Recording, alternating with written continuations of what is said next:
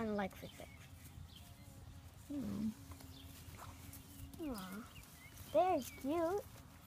They are sometimes baby guys. goats. Baby goats are the definition of cute.